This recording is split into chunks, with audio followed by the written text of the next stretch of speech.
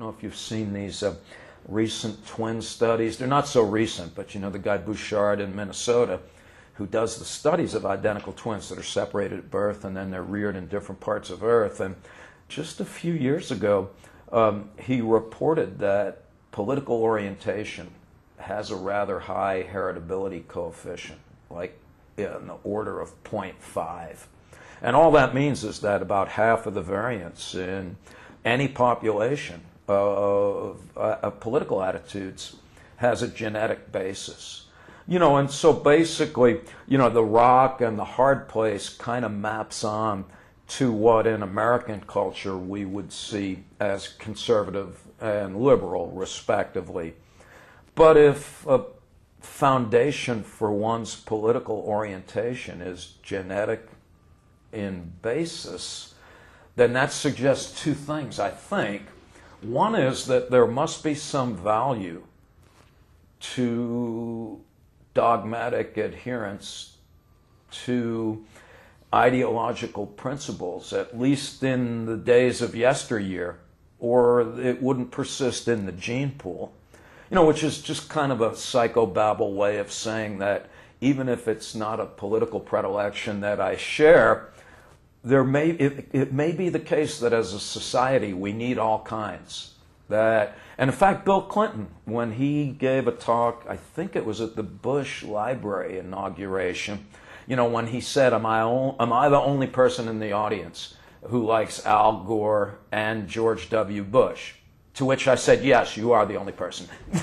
but, but anyway, what Clinton said was, you know, we may really instead of like thinking about, you know, we need to all be liberal or all conservative, why don't we think about what each side brings to the proverbial table?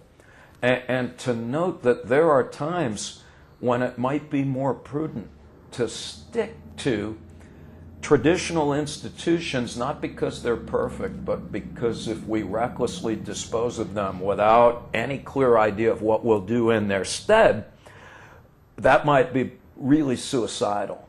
On the other hand, uh, to just cling to tradition for its own sake, well, we'd be sitting on the dirt, not in chairs today, on you know, in caves, just kind of throwing our children against the cave walls whenever they cried and annoyed us. We're like, oh, you're on your own now. We'll just have other kids. So I guess my point is, I, actually I forgot what my point was, but it's it's that it's the rock and the hard place may not be as simple as one way or the other, so much as how do we get the best out of both, if that makes any sense.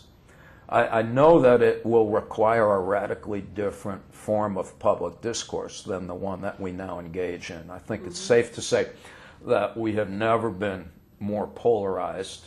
It is very unlikely that the average American ever sits in the same room with people that they disagree with. Mm-hmm. And um, I, I, keep yammering about the need for civil disagreement. That, um, you know, democracy was never supposed to be the result of unanimous agreement. In fact, it was supposed to be the result of spirited disagreement by people of goodwill who, uh, you know, in the spirit of constructive engagement, generally come to a compromise, not in the most positive sense of the word, uh, outcome that serves everyone's interest. I'm not sure that all problems can be resolved, um, but we're kind of we we just really we we go very back and forth on this one, and uh, uh I'm not sure. I am sure that we have nothing definitive, except as you started with, which is that the, the, the path lies somewhere in the middle. Um, you know, rigid and dogmatic insistence on a particular conception of reality, um, that has a long history of not ending well. Similarly, this idea that you can believe anything that you want and that anything goes, uh, history has shown that uh, to be both narcissistic as well as counterproductive. So I, I think that just raises the question that you started with, and that's uh, how do you come up with a set of beliefs that people can share? Because after all, we're symbolic creatures. We have no choice but to collectively generate a conception of reality that we can provisionally accept in the absence of something better. And how can that give us the psychological fortitude to get up every day without having to annihilate someone who happens to take issue with those beliefs? Uh, yeah, I, I, I would say that's like a top to do question that uh-huh. someone should work on. Yeah.